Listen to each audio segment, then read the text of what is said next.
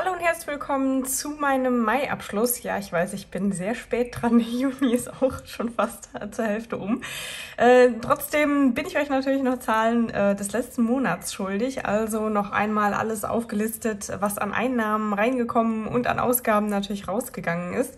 Was die Einnahmen angeht, äh, fange ich natürlich mit dem Einkommen an. Sprich, was hatte ich äh, in erster Linie zur Verfügung? Das waren ja 1600 16,55 Euro insgesamt. Dann sind über den Monat verteilt noch Dividenden in Höhe von 27 Euro und 87 Cent reingekommen, was natürlich entsprechend über die Sparpläne wieder reinvestiert wird. Zinsen, damit sind die Zinsen auf Ballora gemeint. Das waren insgesamt 47 äh, Euro und ähm, 56 Cent. Das sind ja drei ähm, wesentliche Go-and-Grow-Töpfe, denn in Einzelkredite habe ich ja jetzt nicht so viel. Ähm, das sind nur ein paar Euro, was da, äh, also so ein, zwei Euro, was da im Monat rumspringt. Und ähm, das Haupt kommt natürlich von den Go-and-Grow-Töpfen. Da habe ich unter anderem einen Teil meiner äh, Steuerrücklagen, die für letztes Jahr gedacht sind oder für eine drohende Nachzahlung von letztem Jahr gedacht sind. Dann natürlich der größte Topf ist äh, für die BAföG-Rückzahlung und äh, mein Urlaubstopf, den ich hoffentlich dieses Jahr plündern ähm, werde. Mal schauen, ob es dieses Jahr mit Urlaub klappt. Aber ähm, in der Zeit, wo ich das Geld jetzt noch nicht brauche, mh, kommen eben noch ein paar Euro Zinsen äh, zustande und zusammen. Payback waren äh, im Mai 4,89 Euro. Da, äh, das lasse ich mir ja immer am Ende des Monats bar auf mein Konto überweisen. Vivid, da ist jetzt ebenfalls Cashback mit gemeint und das waren genau 4 Euro. Und sonstiges, also sonstige Einnahmen waren 90 Euro. Jetzt habe ich das ein bisschen zu weit in der Mitte geschrieben. Lassen wir die Null mal weg. Das heißt, insgesamt im Mai zur Verfügung hatte ich 1790 äh, Euro und 87 Cent.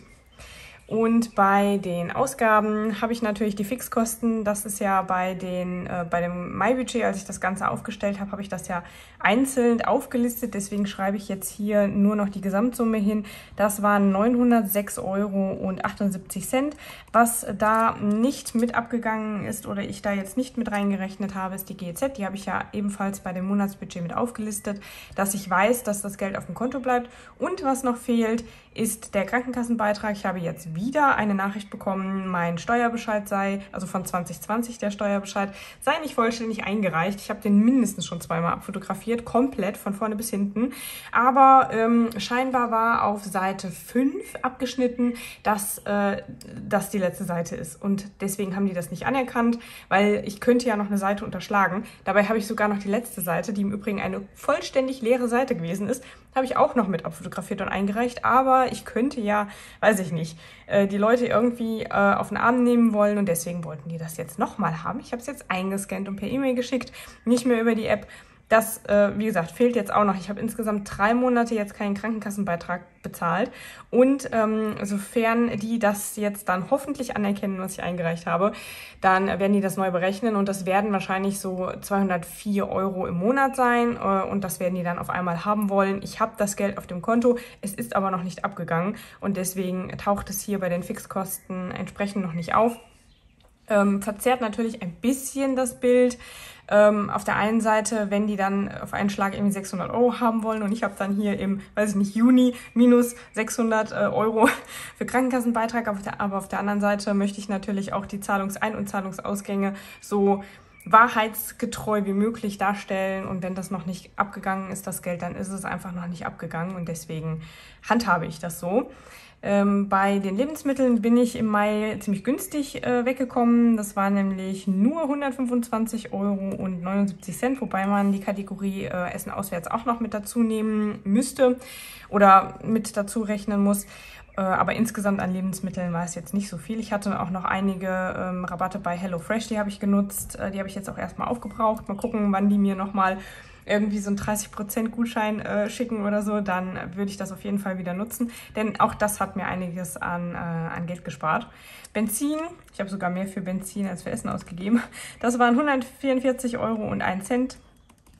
Ähm, für die Katzen habe ich im Mai nur 30 Euro und 42 Cent ausgegeben. Dafür habe ich ja jetzt im Juni schon eine XXL-Bestellung gemacht, die dann äh, natürlich äh, ja, zahlentechnisch ein bisschen anders ausgesehen hat.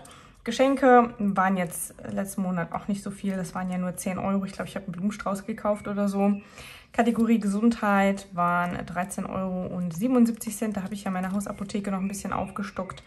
Äh, und auch mein Kleiderschrank für 45,93 Euro. Da muss ich jetzt aber auch nochmal das, was ich nicht mehr anziehe und nicht mehr so gut ist, entweder aussortieren, also was man wirklich nicht mehr anziehen kann, aussortieren ähm, und alles andere wird dann zum Verkauf eingestellt.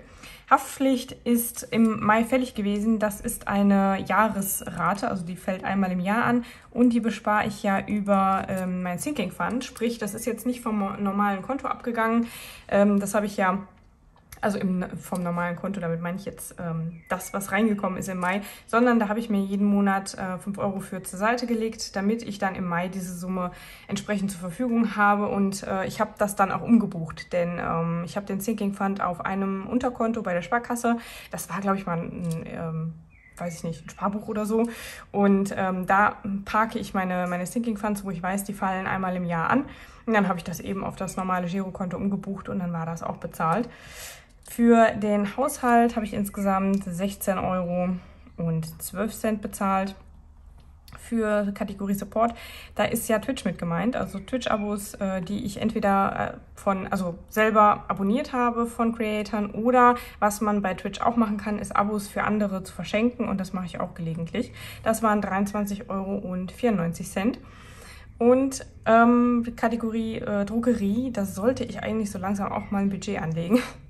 Habe ich jetzt für den Juni immer noch nicht gemacht. Das waren nämlich 17 Euro äh, und 79 Cent. So, äh, Kategorie Auswärtsessen, hm, wie gesagt, müsste man eigentlich hier noch mit ähm, dazu rechnen, denn es ist natürlich Essen, aber ähm, für mich persönlich ist Auswärtsessen ja nochmal eine andere Kategorie als für sich selber zu kochen. Und ähm, da sind auch die Aufladungen für meine Mensa-Karte, also sprich, wenn ich in der Uni gegessen habe, die zählen ebenfalls zu Auswärtsessen. Und das waren insgesamt 51,60 Euro. Sonstiges, da kann ich jetzt rückblickend schon gar nicht mehr sagen, was es gewesen ist. Auf jeden Fall irgendetwas, was ich den anderen Kategorien so nicht zuordnen kann. Ähm, das waren 14,39 Euro und somit komme ich insgesamt auf Ausgaben von 1.458 Euro und 18 Cent. Und ähm, wenn ich das nochmal gegenrechne, also ich habe zur Verfügung gehabt die 1790 Euro und 87 Cent minus die Ausgaben von 1458,18.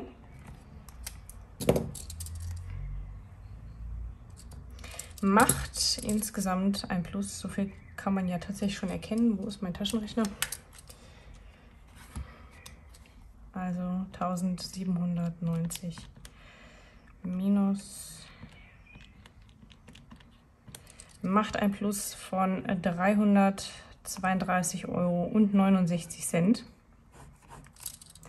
Das heißt, ähm, das ist auf jeden Fall natürlich der wesentliche Punkt, dass da ein Plus am Ende des Monats rauskommt. Das, wie gesagt, sind erstmal meine Zahlen für Mai.